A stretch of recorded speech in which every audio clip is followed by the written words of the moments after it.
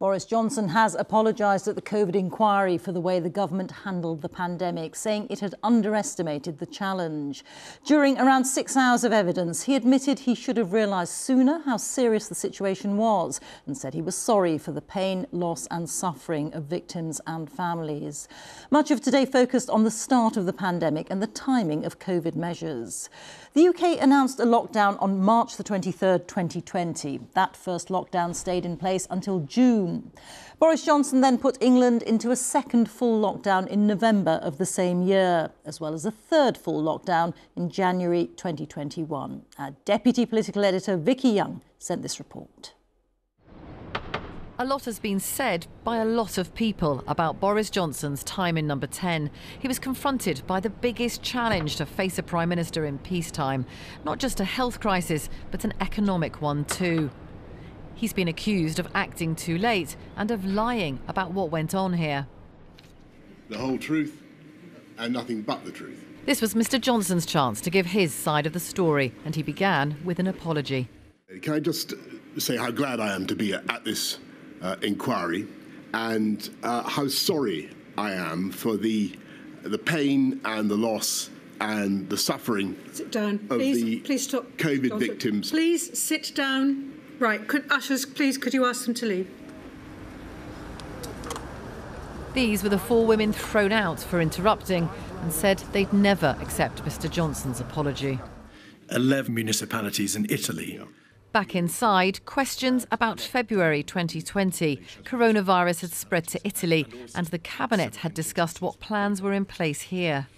I look at all this stuff in which we seem so oblivious with, that, with, with horror now. I mean, we, we, we should have we should have, have twigged. We should collectively have twigged uh, much sooner. I should have twigged. When the seriousness of the virus was understood, it led to this lockdown. Several former colleagues described Mr Johnson as indecisive. He says he was weighing up difficult options. I've got the Chancellor of the Exchequer with me saying that there's a risk to the UK bond markets and our ability to raise sovereign debt. This matters massively to people in this country. I have to go through the arguments. And, and that is what I was doing. Did you consider the argument against lockdown, or did you? I, I, I, am afraid to say at that stage I gave it pretty short shrift because I thought that my job was to protect human life. I had no other. I had no other tool. Literally nothing else. There were some uncomfortable questions about the culture in Number 10. Former Chief Advisor Dominic Cummings wrote sweary messages criticising colleagues, including his boss. I, I knew that some people were uh, were difficult. I didn't know how difficult they were, clearly, um, but I, I, thought it was better on the whole for the country to have a, a, a disputatious culture in Number Ten than one that was quietly acquiescent.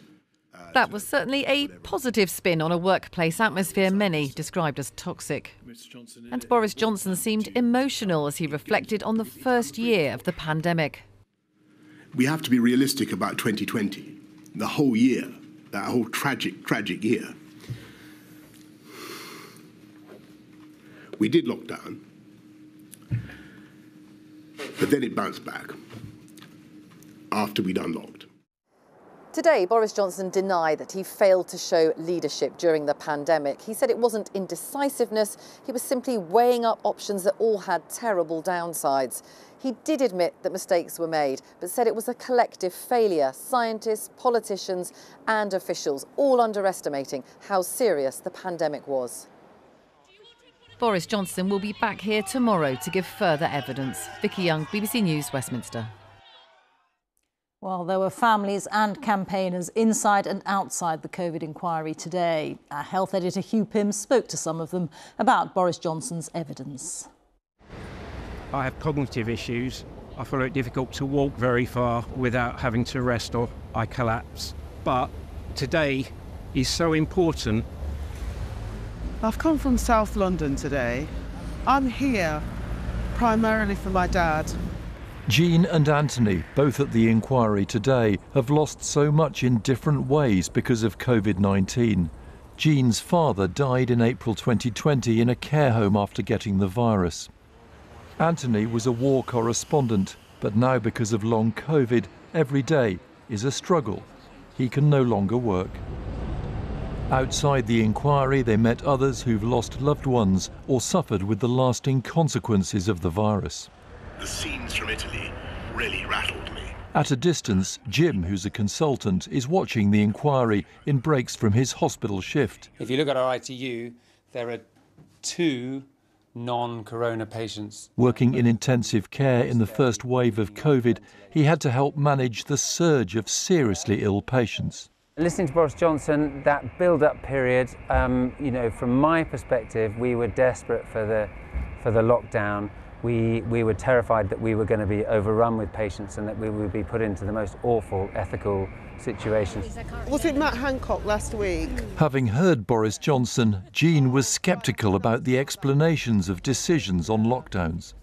He made reference to the scientists quite a few times. Well, they didn't say anything. Uh, You know, behavioural uh, fatigue and bounce back, and you know, and, and that's why they delayed locking down. So he's almost pushing the blame onto the scientists, um, and, and and absolving himself of that that um, uh, responsibility as prime minister to make those decisions. Anthony and his wife are both living with the continuing symptoms known as long COVID. It has taken everything we hold dear from us. We've lost everything. We exist now on benefits for all of our income. So, what did he make of Boris Johnson's apology? They're words, aren't they?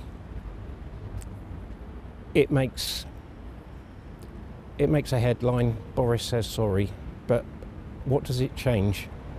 There's no doubt this is a highly significant day for campaigners, but there'll be more to come when the inquiry in its later stages looks in more detail at the response of the NHS to the COVID crisis and what happened in care homes. Jean will be coming back when Rishi Sunak gives evidence. For Anthony, the physical effort of getting there may be too much. Hugh Pym, BBC News.